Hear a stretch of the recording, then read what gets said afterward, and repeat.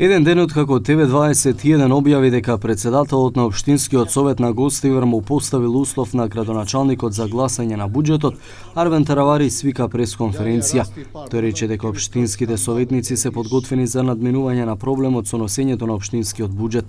Травари рече дека нема повремени финансирања, но го охрабри председателот на Советот Насер Муслиу да закаже седница на која ќе се расправа за буџетот.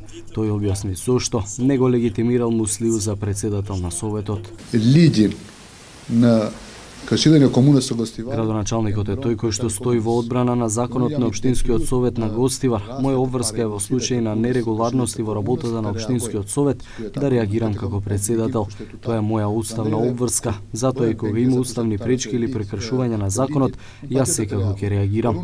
Тоа не значи дека не го прифаќам господинот Муслиу. Јас разговарав и повторно ќе го поканам, почитувајќи го изборот на мнозинството.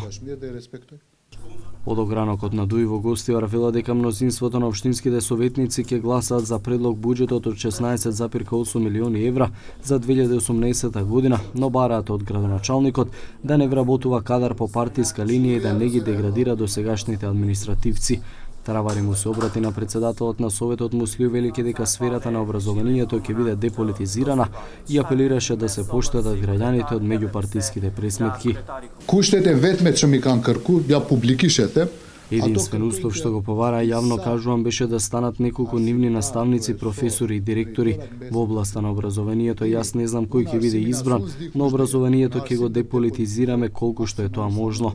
Во образованието не ме интересира кој од која партија е, но и на ниво на директорски позиции ќе се потрудам да го вметнам принципот по заслуга и не велам дека е целосно деполитизиран тој процес.